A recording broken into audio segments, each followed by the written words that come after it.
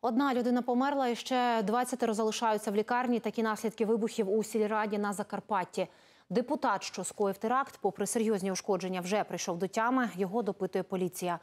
Вибухи пролунали у п'ятницю під час сесії у селі Кирицьки. 54-річний депутат просив надати йому слово, але обранці проігнорували це.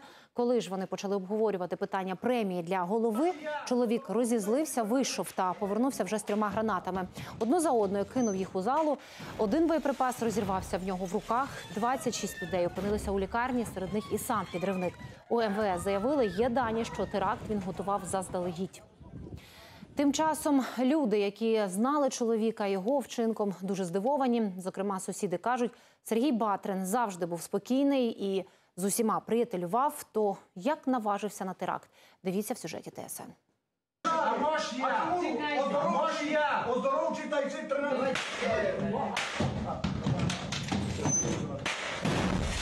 15 грудня стало кривавим днем для Закарпаття. В приміщення, де було майже 30 людей, депутат кинув одразу три гранати. Камера, яка до цього транслювала засідання сесії, продовжила фіксувати і вибух, і все, що відбувалося далі.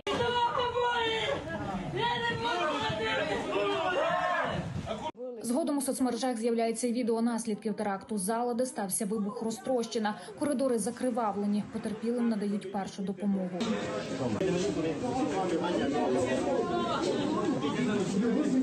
Двадцять шестеро людей одразу шпиталізували. Шістьох з них у важкому стані. Згодом стає відомо, попри зусилля медиків, один з постраждалих помер у лікарні. Це 55-річний чоловік.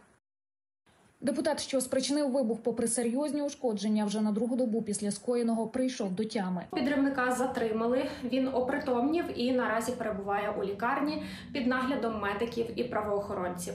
Згодом йому оберуть запобіжний захід.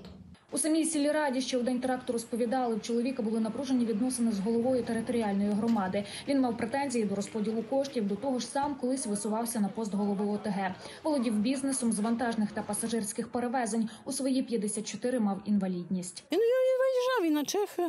Там ми мали операцію робити на ногу. Коліно щось, там у нього сустави треба міняти на коліно. У селі Кушниця, де живе чоловік, сусіди і досі не можуть повірити, що він той самий підривник. кажуть, Сергій Батрин був завжди спокійний та привітний. По-сусідськи вівся нормально, все був привітний, інтелігентний чоловік, навіть можна казати. Розумний, а, розумний і щось як зробив, не знаю. Та ми разом, ми разом виросли. Нормальний чоловік був. Та є. Майданчики зробив був для дітей. Кладбище все файно він упорядкував у нас. Ми за нього погано і не вповімо. Він ще боров за село.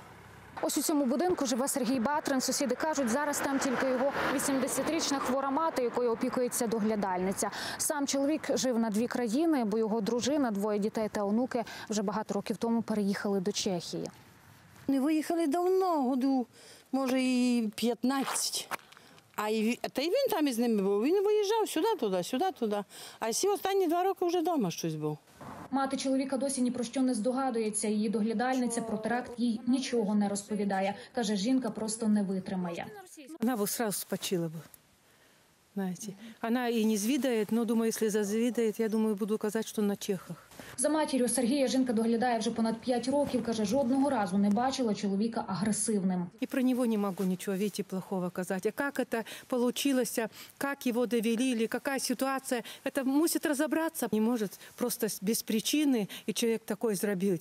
20 постраждалих досі у лікарні. Ті, кого вже виписали, спілкуватися з журналістами поки не готові. Після смерті одного з постраждалих справу підривника правоохоронці готуються перекваліфікувати. Тепер йому може загрожувати довічне ув'язнення. Світлана Деніщук, Станіслав Бобуський, Закарпаття, ТСН 1+,1, Марафон. Єдині новини.